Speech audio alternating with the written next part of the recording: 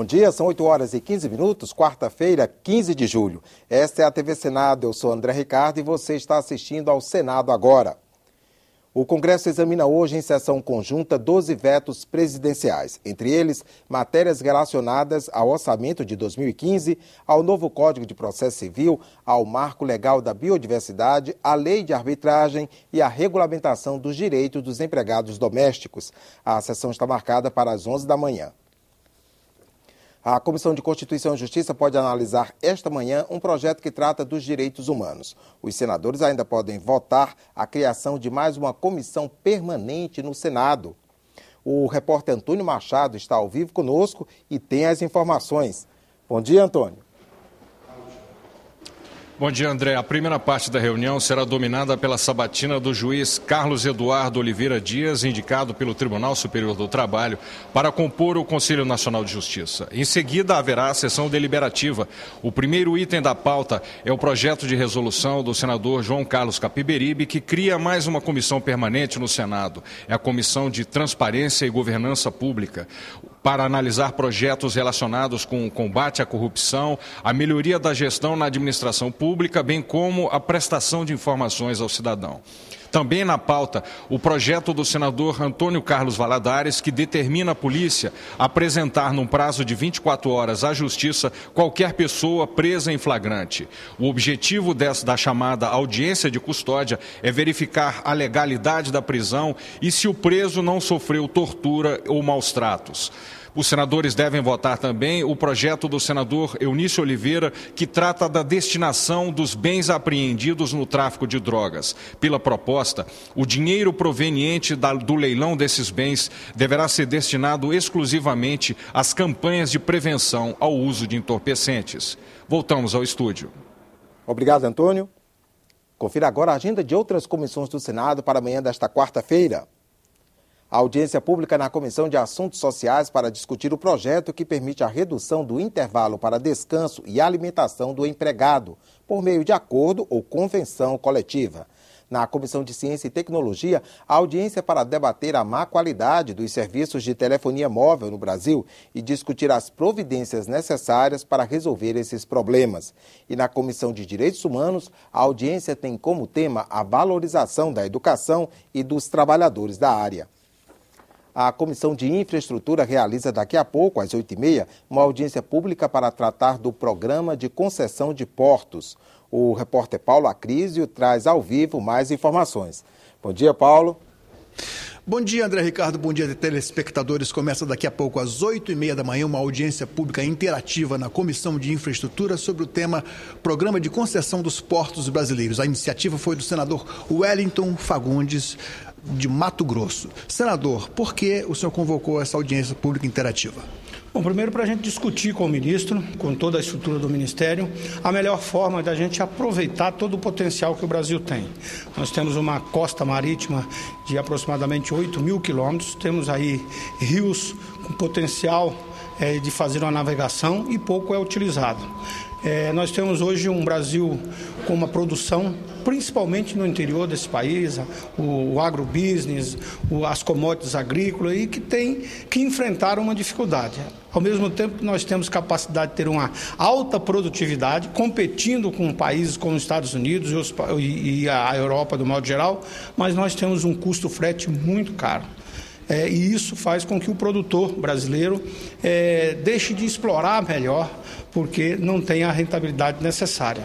E sem falar na questão da mineração, que é outro, outro, outro aspecto extremamente pouco explorado no Brasil, principalmente no Centro-Oeste, na Amazônia. Então, tudo que a gente puder falar de melhor aproveitamento do sistema mais barato de transporte, que é as hidrovias, que é a cabotagem, que é utilizar o potencial também dos nossos portos com mais estrutura e principalmente disseminado por toda a nossa costa.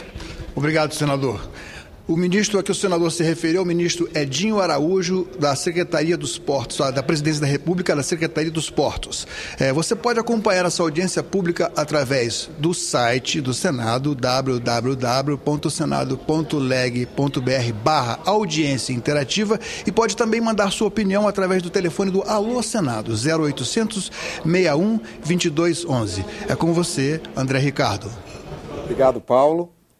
Os senadores aprovaram nesta terça-feira uma alteração no Estatuto da Criança e do Adolescente. O projeto, que vai para a Câmara dos Deputados, aumenta o tempo de internação de quem cometer crimes graves.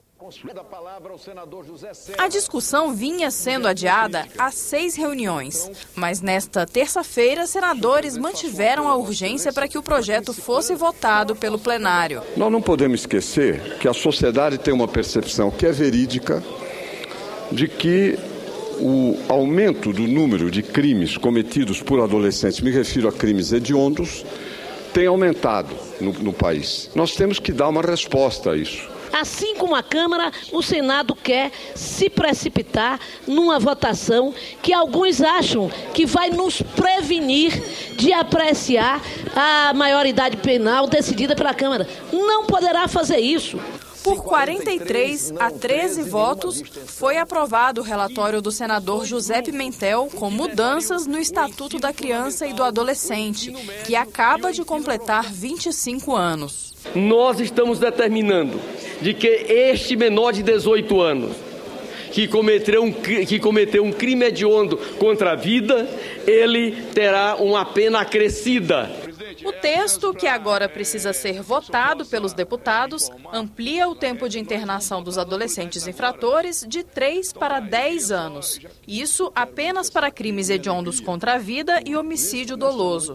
Esses jovens terão que ficar separados dos que cometerem crimes mais leves. O projeto também dobra a pena para os adultos que atraem os adolescentes para a criminalidade. O plenário também aprovou duas indicações de autoridades feitas pela presidente Dilma Rousseff. O nome de Roberto Jaguaribe foi aprovado para o cargo de embaixador do Brasil na China e na Mongólia. E Miguel de Magalhães será o novo embaixador do Brasil no Iraque. Após aprovar o projeto que altera o Estatuto da Criança e do Adolescente e as autoridades indicadas pelo Palácio do Planalto, os senadores voltaram a atenção para outras matérias na sessão deliberativa desta terça-feira. O objetivo é esvaziar a pauta antes do recesso. O repórter Dante Ascioli acompanhou os debates. O plenário aprovou requerimentos de urgência para mais oito projetos sugeridos pela Comissão Especial da Reforma Política. Agora são 12 matérias que estão prontas para a análise dos senadores. Elas tratam de temas como o fim das coligações nas eleições proporcionais, a redução do tempo e dos custos das campanhas eleitorais. Outro projeto dificulta o acesso das pequenas legendas ao fundo partidário e ao tempo de rádio e TV na propaganda eleitoral gratuita. Todas essas matérias estão na pauta do plenário desta quarta-feira e, depois de passar pelo Senado, elas ainda precisam ser analisadas pela Câmara dos Deputados. Além da reforma política, os senadores aprovaram requerimentos de urgência para oito projetos do Pacto Federativo. E essas matérias devem ser votadas ainda ao longo desta semana, até a próxima quinta-feira, quando há a ordem do dia do plenário do Senado. Foi aprovado ainda pelo plenário nesta terça-feira o projeto que regula a preservação de dados de usuários da internet e a transferência de informações aos órgãos de investigação policial. O projeto, de iniciativa da CPI da pedofilia, quer facilitar as ações de repressão à pedofilia na internet. A matéria vai agora para análise da Câmara dos Deputados. Ficamos por aqui. No decorrer do dia você acompanha outras informações nos boletins do Senado agora. Enquanto isso, continue assistindo a nossa programação.